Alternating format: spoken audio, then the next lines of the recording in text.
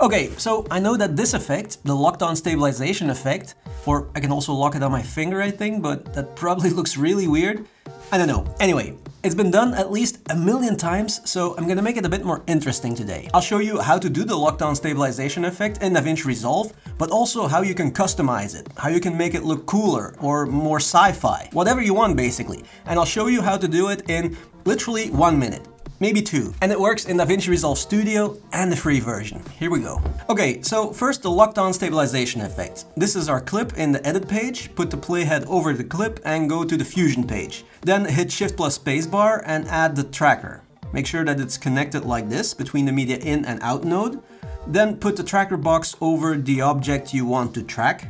And if you're using the free version of DaVinci Resolve, the tracker box will look a bit different because you won't have the IntelliTracker that I'm using here. You'll only have the point tracker.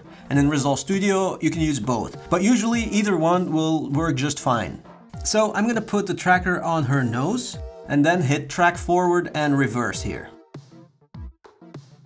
And then once Resolve is done with the tracking, go to Operation, set it to Match Move, and then here set Merge to Background Only. And that's it.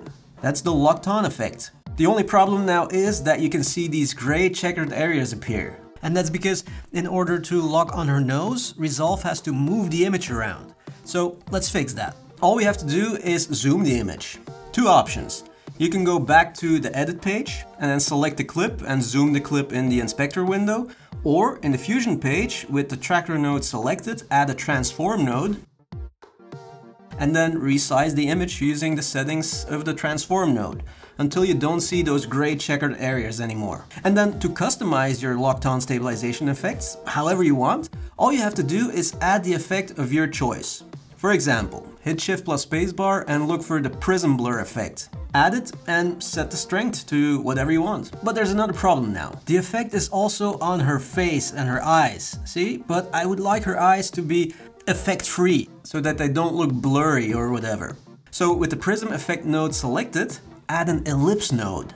See, and I will add the ellipse node here and then invert it here in the settings. And now everything inside the circle won't have the prism blur effect. And to make it look even better, let's just soften the edges. There we go. And you can literally add any effect you want. The zoom blur effect also looks super cool. Maybe the glow effect? I don't know, just use your creativity because anything is possible. Thank you so much for watching and see you in the next one.